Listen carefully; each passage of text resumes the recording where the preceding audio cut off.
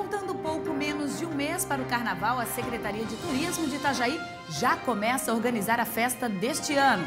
Ontem, uma reunião definiu alguns detalhes do Carnaval 2013. Você costuma ingerir legumes e verduras? É adepta à comida vegetariana? Sabe tudo o que envolve este hábito?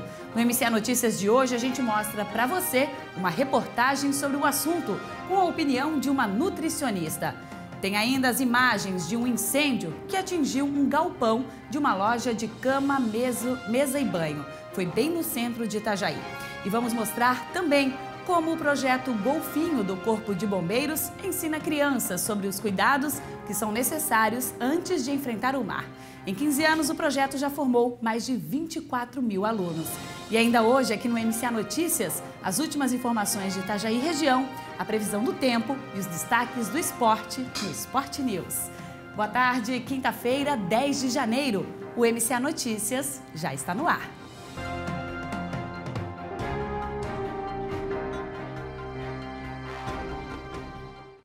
Boa tarde, é muito bom contar com a sua audiência aqui pelo canal 6 da Via Cabo TV e também pela internet através do nosso site tvmca.com.br.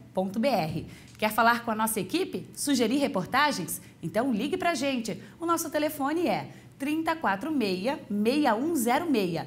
Mas, se você preferir, também pode entrar em contato pelo nosso endereço eletrônico mcanoticias.tvmca.com.br.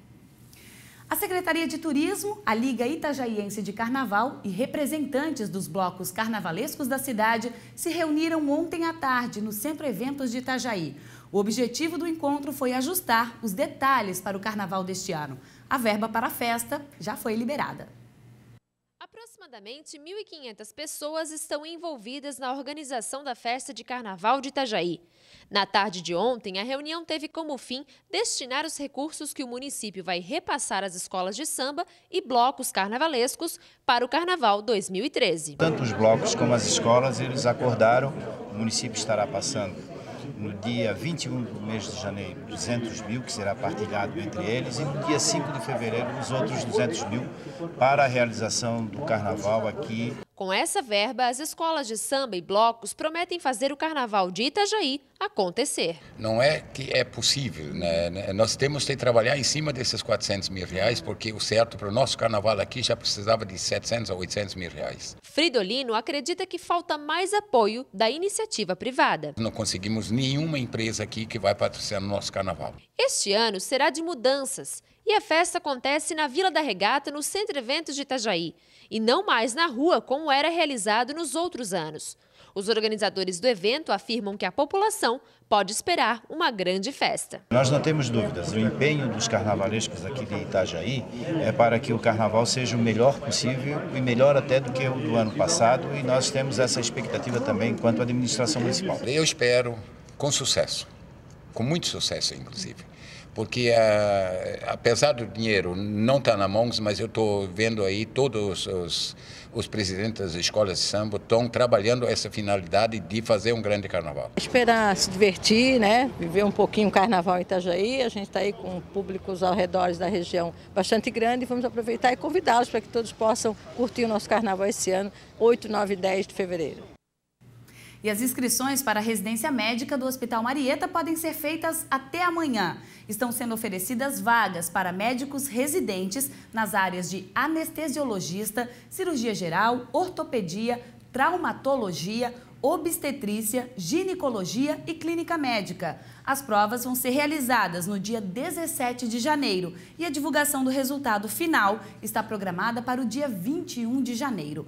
Mais informações pelo telefone 3249 9400.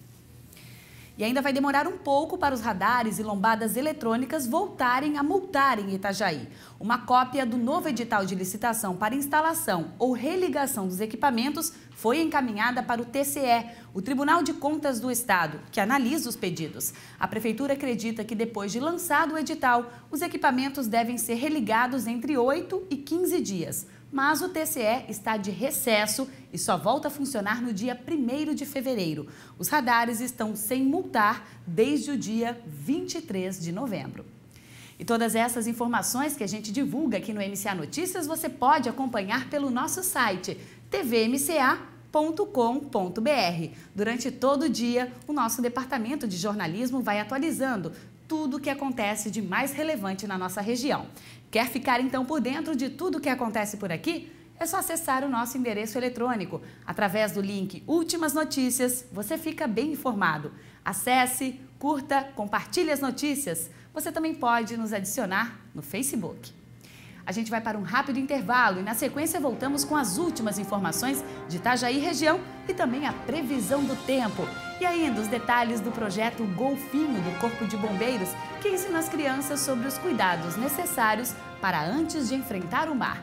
E vamos mostrar também a opinião de uma nutricionista sobre a alimentação vegetariana. Aqui em Itajaí existem restaurantes especializados no assunto.